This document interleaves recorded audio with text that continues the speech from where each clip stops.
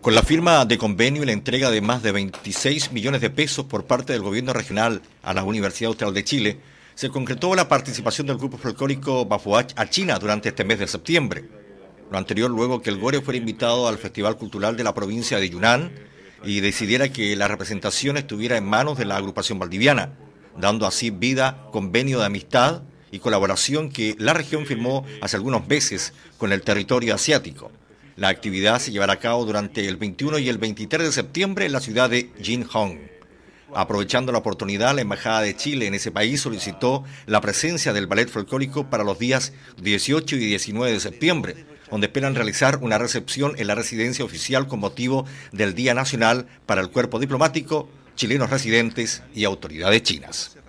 Yo muy agradecido una vez más al intendente por este convenio que de alguna manera, ¿cierto?, no hace partícipe a toda la comunidad.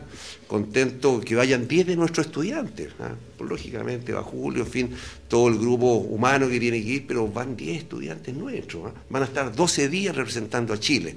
Así que yo, yo la verdad que agradezco a ustedes y hagan una bonita noticia, se lo digo de verdad. Yo creo que estas son las cosas que tenemos que sentirnos orgullosos, el trabajo conjunto entre intendencia, gobierno regional, la universidad, somos todos actores que tenemos que poner a nuestra región en el primer plano.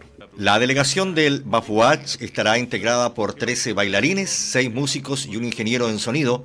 Realizarán durante dos semanas al menos 6 conciertos oficiales en 5 ciudades de China.